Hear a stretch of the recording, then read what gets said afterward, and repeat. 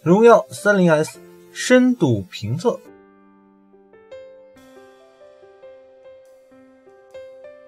三月三十日晚，荣耀 30S 正式发布，这也是二零二零年荣耀手机召开的第一场正式发布会。同样是以线上的方式，作为荣耀数字系列的当头炮，在产品力方面，荣耀 30S 可谓是扮演着重要的角色。而该机最为抢眼的亮点，无疑是首发了麒麟八二零芯片。想必很多人一定记得去年七纳米工艺的麒麟八幺零高光时刻，今年的麒麟八二零。和荣耀 30S 表现如何呢？来评测一下。在关心麒麟820的性能之前，咱们还是要先了解一下荣耀 30S 的设计。毕竟颜值才是消费者购机的原动力。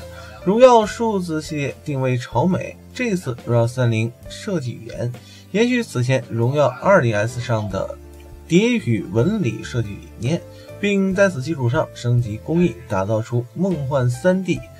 蝶羽光效，简单来说就是视觉上看机身背部的蝴蝶更为灵动、更立体。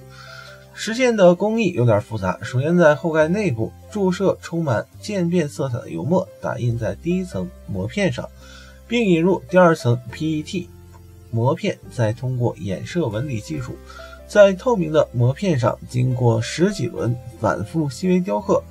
利用极微纹理对光的折射和衍射，使整个照片绽放出梦幻光效变化。最后再使用 3D 大弧度曲面玻璃封装。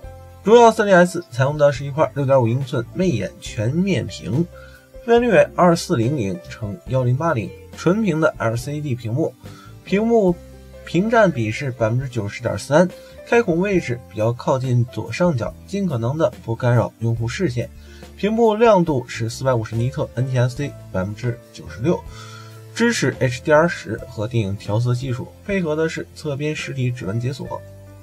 在性能评测之前，先了解麒麟八二零的基本架构和升级之处。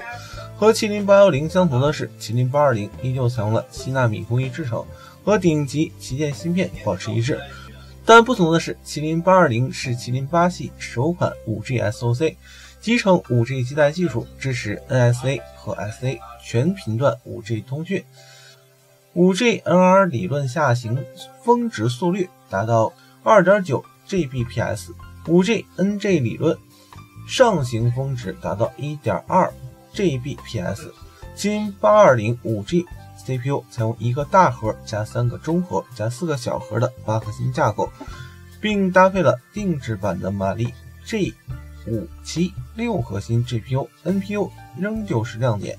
采用华为自研架构的新一代 NPU，据悉算力是顶级表现，可见华为在 AI 领域的态度是在持续发力。